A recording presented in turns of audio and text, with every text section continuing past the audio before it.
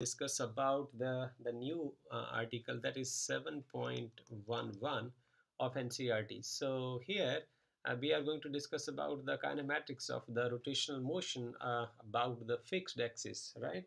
So, but we have done so far in the linear motion. So we have two kind of motion. We have studied about linear motion and circular motion. So this is what uh, we have discussed this again and again.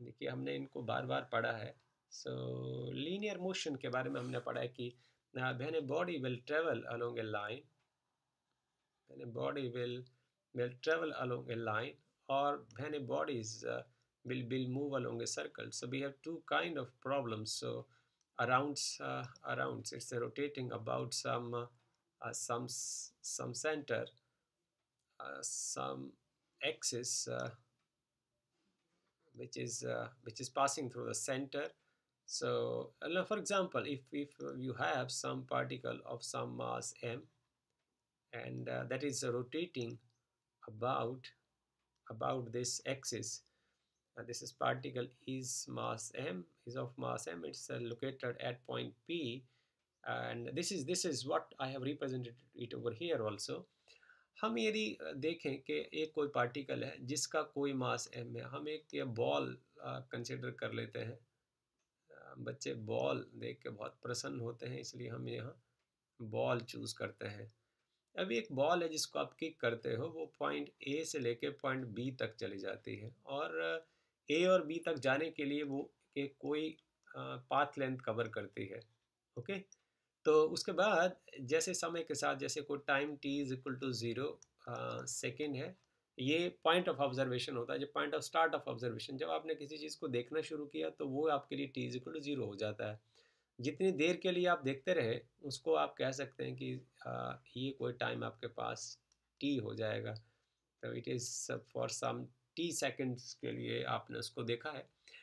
इसमें जो velocity होगी जो velocity होगी वो एक vector quantity है और ये हो जाएगी D X upon D T और जो एक्सेलरेशन होगा वो होगा जब वेलोसिटी चेंज होगी okay it is D B upon D T तो इस तरह की क्वांटिटीज जो है हमने ऑलरेडी डिस्कस कर रखी है और इसके बारे में हम अब बात नहीं करना चाहते। आ, हम इक्वेशंस ऑफ़ मोशन यदि एक बॉडी स्ट्रेट लाइन में चलती है तो उसकी इक्वेशन ऑफ़ मोशन क्या होती है और उसकी जो कॉरस्पॉन्डिंग इक्वेशन ऑफ़ मोशन क्या होंगी जब एक बॉडी या रिजिड बॉडी जो है वो रोटेट करती है। तो हमने इसमें कुछ इक्वेशंस पढ़ी हैं, उनको हम आपके साथ डिस्कस करना चाहते हैं। देखिए, यदि फॉर एग्जांपल आपका जो बॉडी है, वो यहाँ से चलना शुरू करती है और उसकी जो इनिशियल वेलोसिटी है, वो यू होती है। और फाइनली जब वो बी पॉइंट पर पहुँचती है तो उसकी वेलोसिटी चेंज होके वी हो जाती है। आप देखें, यदि शुरू में वेलोसिटी यू थी और बाद में उसका नाम वी हो गया, इसका मतलब उसके बीच में चेंज आया है। यदि चेंज आया है तो वेलोसिटी के चेंज आने से एक नई फ़िज़िकल क्वांटिटी जो पैदा होती है, उसको हम एक्सेलरेशन बोलते हैं। This means that body is accelerating उसकी वेलोसिटी बढ़ रही है इंक्रीज हो रही है। और इफ़ इट इज़ डिसलरेटिंग यदि उसकी वेलोसिटी घट रही है, तब भी वेलोसिटी चेंज होती है। तो हम ये सबसे पहले मान लेते हैं कि उसकी वेलोसिटी जो है, वो इंक्रीज हो रही है। तो इस फाइनल वेलोसिटी और इनिशियल वेलोसिटी में एक्सेलरेशन के थ्रू एक रिलेशन होता है। उस रिलेशन को हम लिखते हैं फाइनल वेलोसिटी ये हो गई ये इनिशियल वेलोसिटी ये हो गई और ये एक्सेलरेशन हो गया वेक्टर क्वांटिटी है और ये टाइम पीरियड है जितनी देर के लिए बॉडी चलती है ओके सो so, इसको हम एक इंपॉर्टेंट इक्वेशन यहाँ कंसिडर कर लेते हैं इसको हम इक्वेशन नंबर वन मार्क कर देते हैं ओके okay? अब इसी तरीके से यदि एक बॉडी सर्कल में घूमती है तो उसमें जो उसकी फाइनल वेलोसिटी होगी वो हो जाएगी ओमेगा से हम रिप्रेजेंट करेंगे। इनिशियल वेलोसिटी हो जाएगी उसकी ओमेगा ज़ीरो और उसका जो एक्सेलरेशन होगा एंगुलर एक्सेलरेशन हो जाएगा अल्फ़ा और टी टाइम के लिए यदि वो चलती है। So this is the the uh, linear motion and the circular motion. और दूसरी इक्वेशन जो हमने ऑलरेडी पढ़ रखी है कि x minus X zero this is what we have studied initially it is equal to initial velocity आपके पास है U T plus one by two ये बॉडी का एक्सेलरेशन है और जितने टाइम के लिए वो चल रही है उसका स्क्वायर है। This is equation number two इसको भी हम संभाल के रख लेते हैं। ये हमारे पास आ गया इक्वेशन नंबर टू तो इसके कॉरस्पॉन्डिंग हम यहाँ लिखते हैं। इसमें अब यहाँ जो डिस्प्लेसमेंट होगा, यहाँ एंगुलर डिस्प्लेसमेंट होगा। Displacement at any time T minus angular displacement at the start of the observation it is equal to initial velocity आपके पास हो जाएगी omega zero into T plus one by two angular acceleration alpha and the square of the time of observation so ये दूसरी equation उसके corresponding equation हो जाएगी। एक इक्वेशन हमने और की है जो फाइनल वेलोसिटी और इनिशियल वेलोसिटी में एक रिलेशन डेवलप करती है through this displacement X so I can write it like this this is uh, the square of the final velocity v square minus u square is equal to 2 time this is acceleration and this is the displacement uh, it's covered by the body okay so I can write it like this this is uh, the third equation. And the corresponding equation in the circular motion is this is final velocity, angular velocity ka square, initial angular velocity ka square plus 2 time uh, angular acceleration and the and and angular displacement is theta so we can write it down like this omega square minus omega zero square is equal to two alpha theta so इसका साफ़ मतलब ये है कि यदि आपको linear motion की equation पता है तो उससे आप एंगुलर मोशन की इक्वेशंस को बहुत सिंपली आप ड्राइव कर सकते हैं। This is equation number four this is equation number five and this is equation number 6 so, this is the the relation between the linear motion and the circular motion okay? Now in this video we are going to drive the relation omega omega is equal to omega 0 uh, plus plus alpha t. So this is very important relation uh, in the rotational motion we are going to drive it. So just uh, take the example that we have a, a a body and that is rotating in a circle of some radius r. So you have some circle and a body is moving in this circle and this circle has some radius r okay so and the body is rotating about this axis of rotation about this axis of rotation okay oh so this body is of mass some mass m and it is uh, yeah, this is its uh, linear velocity that is uh, tangent to the point okay? So this is the radius r. So we are going to drive the the relation uh, for the the velocities. It's a relation final velocity it's a relation with the initial angular velocity right? So this is another point. Mm. after some time t so you are observing the the body at the two points there is an angle theta uh, between these two point of observations. So this uh, mass is at point P initially and after some time T it reached to the point Q. So see here at uh, time T is equal to 0, at time T is equal to 0, this angle theta is equal to 0 degree, right? And uh, when, when time, we will take it as some T seconds, then theta, uh, I mean, I can write as a theta 1 and this is theta 2 is, uh, is equal to uh, some theta, okay? So we will start with some definition. हम कुछ definition के साथ शुरू करते हैं कि average angular acceleration of a rotating body is given by this is average angular acceleration कि हम definition यदि लिखें angular acceleration of a rotating body यदि एक बॉडी रोटेट कर रही है तो उसका एवरेज एंगुलर एक्सेलेशन क्या होगा? उसका हम लिखते हैं alpha is equal to omega two minus omega one upon T two minus T one so ना you will concentrate on the geometric conditions आप इस डायग्राम में ध्यान से देखें कि हमने वहाँ लिखा है कि हम जब इस रिवॉल्विंग बॉडी को ऑब्ज़र्व करना शुरू करते हैं तो हम ऐसा लिखें उसका mathematics one time T one is equal to zero second right then omega one this is first value of the angular velocity is equal to omega zero इसका मतलब है कुछ। इसका मतलब है कि जब ना आपने उसको देखना शुरू किया तो उस टाइम वो बॉडी ऑलरेडी सर्कल में घूम रही थी।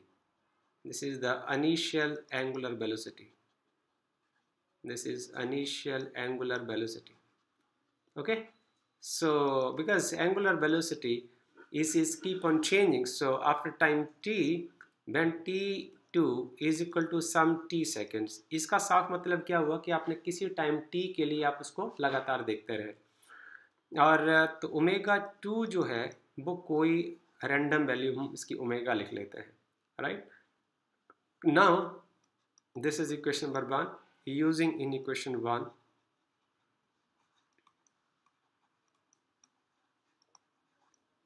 using in equation number 1 we have we have alpha is equal to uh, this is uh, omega 2 is omega minus omega 1 is omega 0 divided by this is t2 is some t and t1 is uh, is 0 so here alpha is equal to omega minus omega 0 upon t.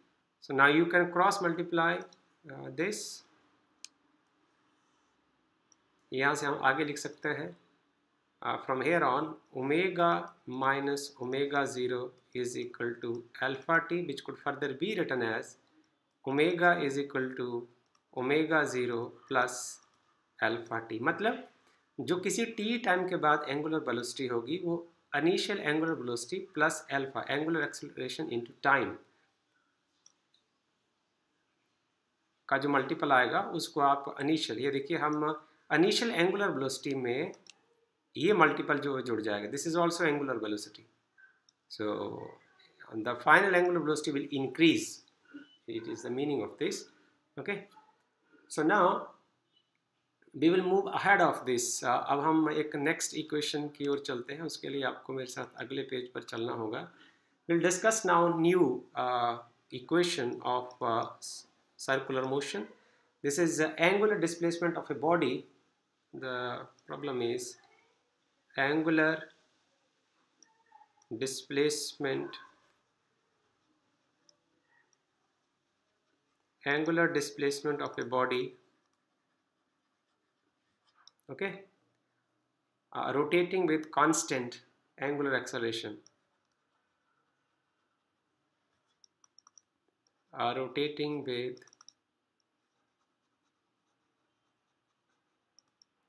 constant,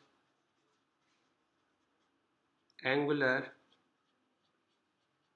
acceleration. हमने उसका angular displacement निकालना उस body का angular displacement निकालना है, जो constant angular displacement के साथ घूम रही है।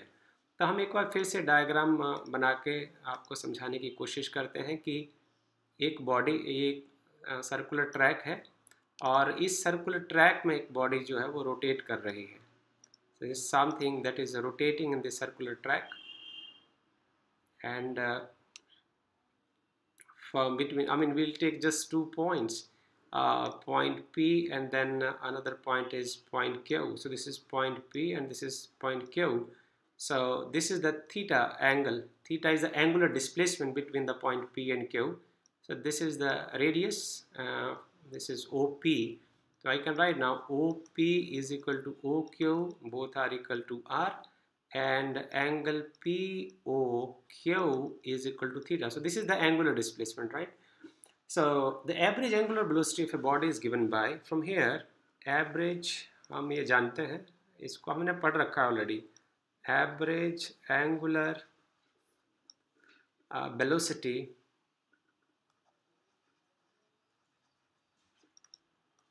of a body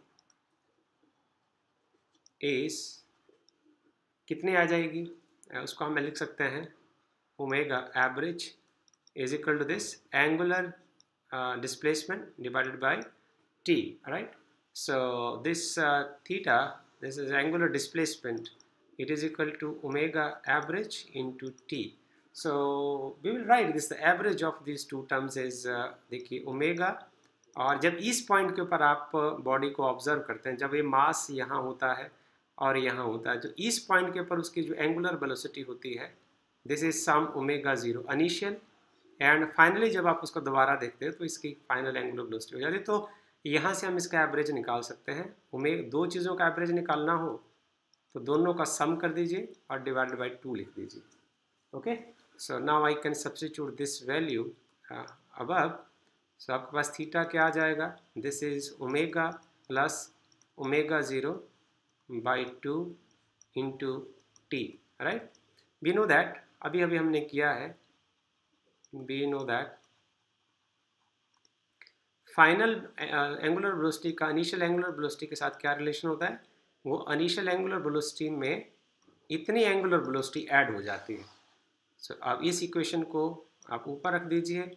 आपके पास आ जाएगा theta is equal to omega की जगह आप लिख सकते हैं omega zero plus alpha T and this is plus omega zero divided by two into T right so we can solve it theta is equal to omega zero plus omega zero इसको हम खोल देते हैं। This is two omega zero into T by two plus one by two alpha और इसको आप multiply करेंगे तो आ जाएगा alpha T square so two के साथ टू कैंसिल हो जाएगा। We are left with theta this is the angular displacement and this is omega zero T plus one by two alpha time T square so this is the the new expression and uh, and you can just compare it, it, it with the linear linear linear motion displacement in the linear motion. That is equal to s is equal to ut plus 1 by 2 80 square. So this is the this is the way you can connect. This is the analogy between the two. So now we'll further move ahead uh, for the third equation of uh, rotational motion उसके लिए आपको मुझे अगले page पर चलना है। So now will go for the angular velocity attained by a body after covering angular displacement theta so we have the another expression angular velocity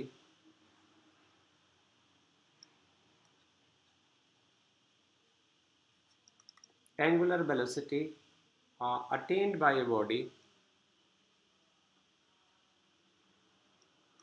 attained by a body uh, after covering angular displacement theta. After covering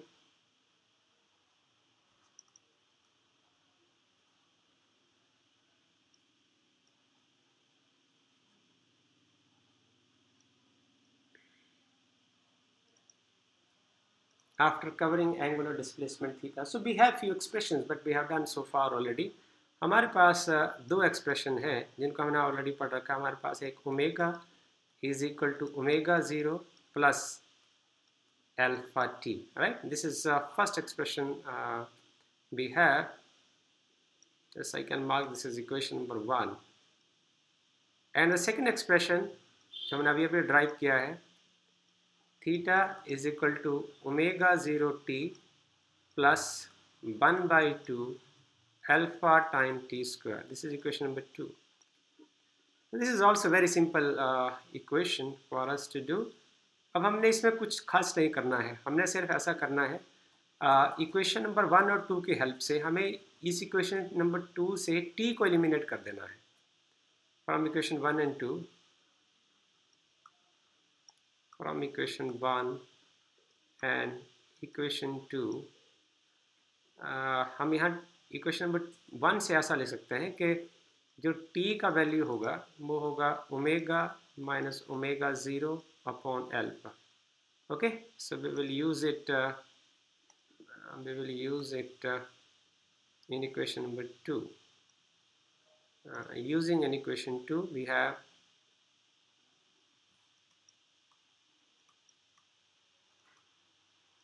in equation number two we have यहाँ रख देते हैं।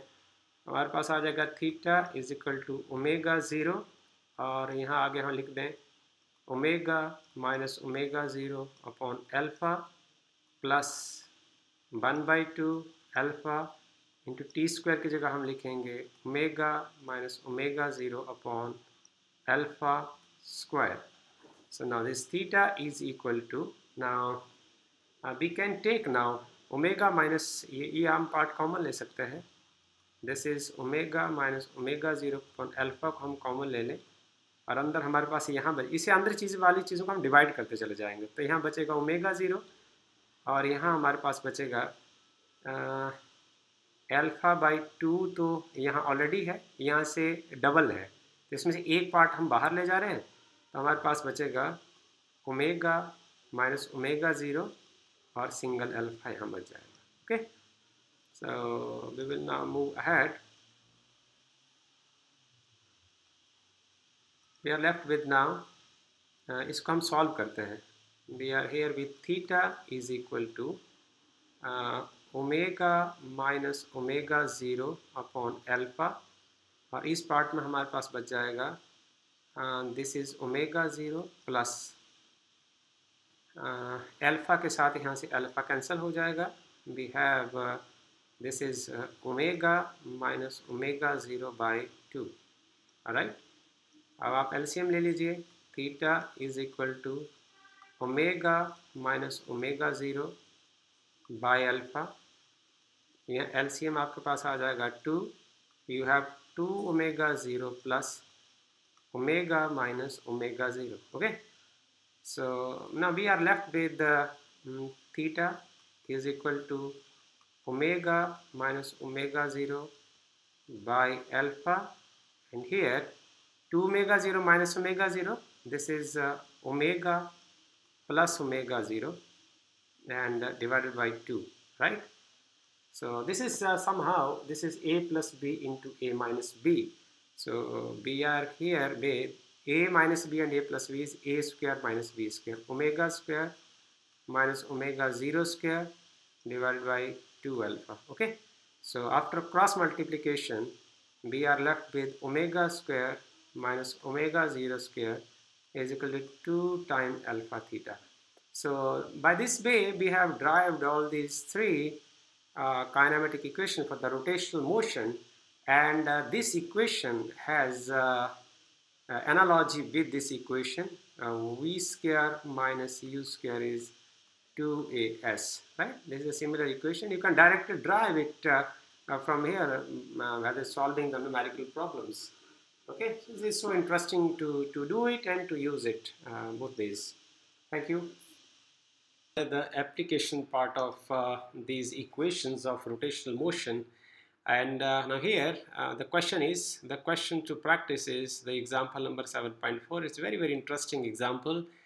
इसमें हमें दिया हुआ है कि जो angular speed of the motor wheels is increase from 1200 around revolution per minute 1200 revolution करती है वो एक मिनट में से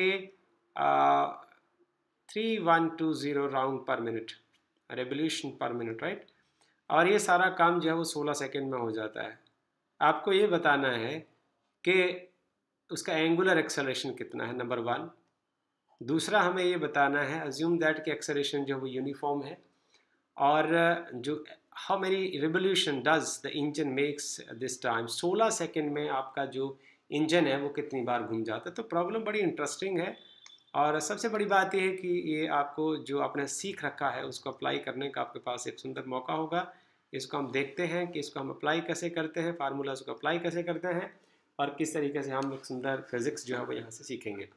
हमें सबसे पहले इस बात पर ध्यान देना है कि जो नॉन पैरामीटर्स हैं वो क्या है। तो नॉन पैरामीटर हमारे पास सबसे पहले दो एंगुलर बल जो स्पीड की इंफॉर्मेशन हमारे पास है तो जो इनिशियल एंगुलर स्पीड है, जो T is equal to zero के ऊपर ली गई है वो है ओमेगा ज़ीरो वो है बारह सौ, जो रेवोल्यूशन जो हैं, वो पर मिनट है। तो एंगुलर स्पीड के जो ऐसा यूनिट्स होते हैं, वो रेडियंस पर सेकंड होते हैं तो अब आप इसको ऐसे समझे, देखो सिंपल तरीके से, कि एक गोला है वन रेवोल्यूशन है। एक रेवोल्यूशन का मतलब क्या होता है कि टू पाई रेडियंस यदि हम रेडियंस में बात करें तो इसका मतलब है दो पाई रेडियन घूम जाता है ओके सो so, यहाँ से का पार्टिकल चलता है तो यदि एक रेवोल्यूशन करता है तो इसका मतलब टू पाई रेडियंस घूम जाता है। तो हम यहाँ लिख देते हैं तो ये हुआ twelve hundred into one revolution is equal to two pi radian और मिनट की जगह इसके यूनिट रेडियन पर सेकेंड होने चाहिए तो मिनट की जगह हम साठ सेकेंड रख देते हैं। तो यहाँ से आप देखिए कि ये बन जाएगा आ, आ जाएँगे बीस। ये आ जाएँगे forty pi forty pi radian per second so ये ओमेगा ज़ीरो का वैल्यू हो गया। इसको हम नंबर वन मान लेते हैं। और इसी तरीके से हम जो दूसरा एंगुलर स्पीड का वैल्यू निकालते हैं, वो है हमारे पास three one two zero revolution per minute या राउंड पर मिनट हम कह सकते हैं। इसको हम ऐसा लिख देंगे थ्री वन टू ज़ीरो एक रेवोल्यूशन में टू पाई रेडियन वो घूम जाता है और एक मिनट में साठ सेकंड होते हैं। तो ज़ीरो से आप ज़ीरो को काट दीजिए, ये आपके पास आ जाएगा five and two. This is a hundred and four pi radians per second, right? This is equation number two. हम जानते हैं कि हमें एंगुलर एक्सेलेशन निकालना है और एंगुलर एक्सेलेशन इन दोनों एंगुलर स्पीड के साथ कैसे जुड़ता है? By the relation we can use omega minus omega zero is equal to alpha time T so here angular acceleration alpha can be calculated by using this approach omega minus omega zero divide by T so hey T is given for you that is sixteen second I think या I am correct that it is T is equal to sixteen second so here omega is equal two hundred one hundred four pi uh, radians per second minus omega 0 is 40 pi radians per second uh, divided by 16 second. Okay? So this is equal to this is equal to now I mean it is 64 64 this is equal to 64 pi radians uh, radians uh, per second. Um, per second uh, divided by you can write 16 second right? So here it is uh, 4 so we will have at the end this is 4 pi radian per second square so this is the this is what the angular acceleration is so second part हमसे पूछा हुआ है कि आपसे पूछा है कि वो कितने रिवोल्यूशन लेगा सिक्सटीन uh, सेकेंड्स में इसी टाइम में t is equal to 16 seconds so in 16 seconds the second part of this uh, numerical problem is this is not working well so इन इन्हीं सोलह सेकेंड में आपका जो इंजन है वो कितना घूम जाता है। तो सबसे पहले हम ये देख लेते हैं कि एक रेवोल्यूशन में वो टू पाई रेडियंस घूम जाता है एक सेकेंड में। और यदि हम उसको देखते हैं कि वो टोटल डिस्प्लेसमेंट एंगुलर डिस्प्लेसमेंट कितना होता है, उसके बाद हम सोचते हैं इसके बारे में। So the angular displacement of the engine is equal to the angular acceleration तो हमारे पास आ गया। so we can say the angular acceleration of the engine is यहाँ लिख देते हैं हम so angular acceleration of an engine this is equal to 4 pi okay and this is radian per second square right so next uh, now we have to find first the angular displacement in time t is given by यहाँ लिखते हैं हम the angular displacement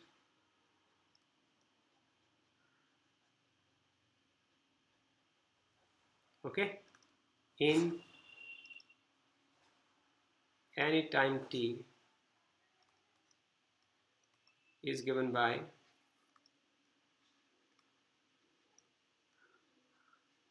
उसके लिए हमने expression derive किया था angular displacement is theta this is omega 0 t plus 1 by 2 angular acceleration and the square of the time period right so here angular acceleration is theta is equal to omega 0 we have calculated over here this is 40 pi so I can write is uh, 40 pi uh, time time is 16 second right plus this is uh, 1 by 2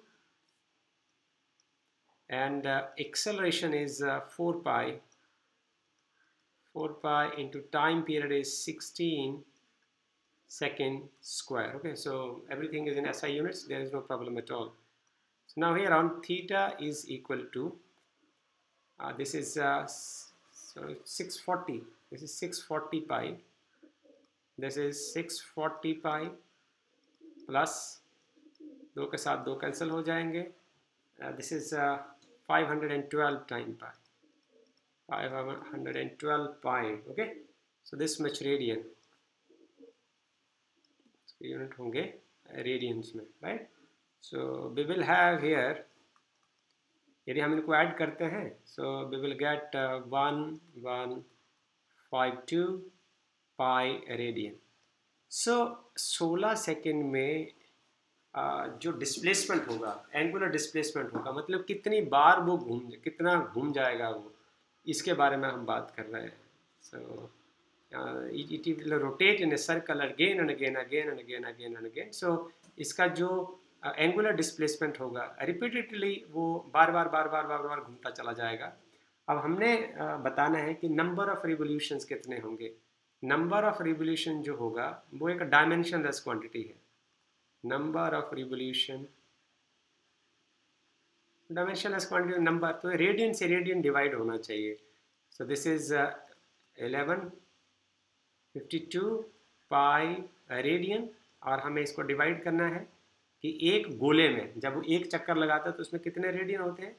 This is two pi radian right so radian से radian cancel हो जाएगा तो dimension quantity एक number रह जाएगा।